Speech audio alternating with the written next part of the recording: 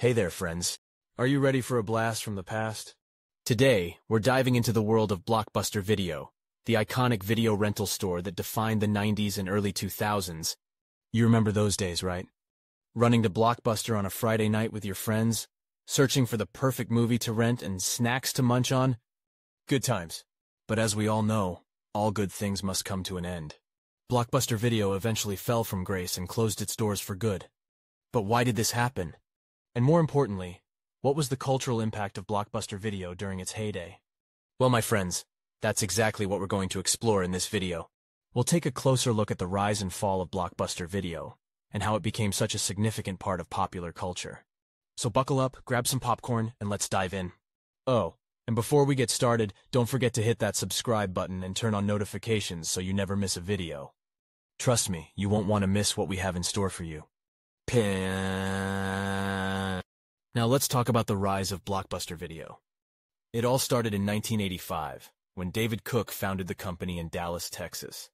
Cook had a vision to create a video rental store that was more organized and professional than the mom-and-pop shops that were popular at the time.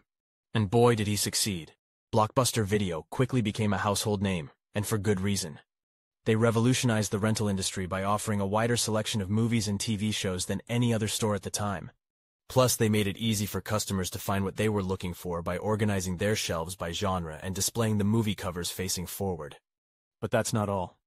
Blockbuster Video also introduced the concept of a membership program, which offered perks like discounted rentals and the ability to reserve movies in advance.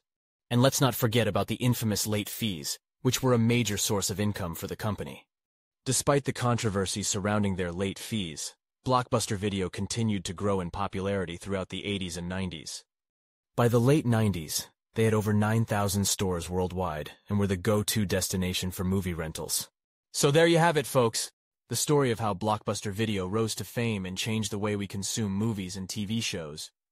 And if you're feeling nostalgic for the good old days of renting VHS tapes and DVDs, just know that there are still a handful of Blockbuster Video stores in operation today. Now, isn't that a fun fact? Ah, Blockbuster Video. The memories. Who else remembers the excitement of browsing the aisles, trying to decide which movie to take home for the weekend? Blockbuster was more than just a video rental store. It was a cultural phenomenon that had a massive impact on popular culture during its heyday. Blockbuster not only changed the way we watched movies and TV shows, but it also changed the way we interacted with media. It was the first time that people could rent movies and watch them in the comfort of their own homes. No more waiting for movies to come on TV or going to the theater. And let's not forget about the social aspect of Blockbuster. It was a place where people could come together and share their love of movies. It was a hub for movie enthusiasts and casual viewers alike. Plus, who doesn't remember the feeling of satisfaction when you finally found the movie you've been searching for? Blockbuster wasn't just a video rental store. It was a symbol of the 90s and early 2000s. It was a place where people could go to escape from the stresses of everyday life and immerse themselves in a world of entertainment. And let's not forget about the iconic blue and yellow signage. Speaking of pop culture references, who remembers that Seinfeld episode where Jerry and Kramer go to rent a movie? Classic. Blockbuster truly was a part of our cultural landscape, and its impact will be felt for generations to come. So, next time you're scrolling through Netflix, take a moment to appreciate the impact that Blockbuster Video had on our lives. It truly was a cultural phenomenon that will never be forgotten.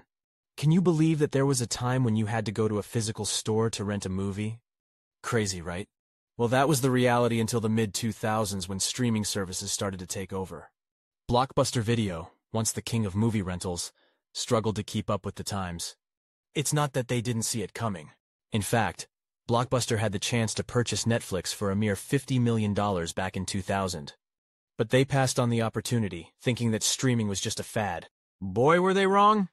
The rise of streaming services wasn't the only factor that led to Blockbuster's downfall. They also failed to adapt to changing technology. The company continued to rely on their brick-and-mortar stores, while other companies were experimenting with digital downloads and on-demand services. It didn't help that Blockbuster's business model was outdated, they charged late fees which turned customers away, and their selection was limited compared to newer companies like Netflix. Blockbuster tried to compete by introducing their own streaming service, but it was too little, too late. They had already lost too much ground to their competitors. In 2010, Blockbuster filed for bankruptcy and began closing stores. By 2013, the last remaining Blockbuster Video in the United States closed its doors for good. It's a sad end for a company that was once a staple of American culture. Fun fact, at its peak, Blockbuster had over 9,000 stores worldwide. Now there are none left. And the company accumulated over $1 billion in debt before filing for bankruptcy. It's a cautionary tale of what can happen when you fail to adapt to changing times. The fall of Blockbuster Video is a reminder that no company is invincible. T wow, what a ride. We've journeyed through the rise and fall of Blockbuster Video, a cultural icon that changed the way we consume media forever. From its humble beginnings in Texas to its dominance in the video rental market, Blockbuster was a true force to be reckoned with.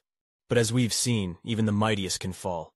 The rise of streaming services like Netflix and Hulu sounded the death knell for Blockbuster, and the once proud company was forced to file for bankruptcy in 2010. However, despite its demise, Blockbuster's impact on popular culture will never be forgotten.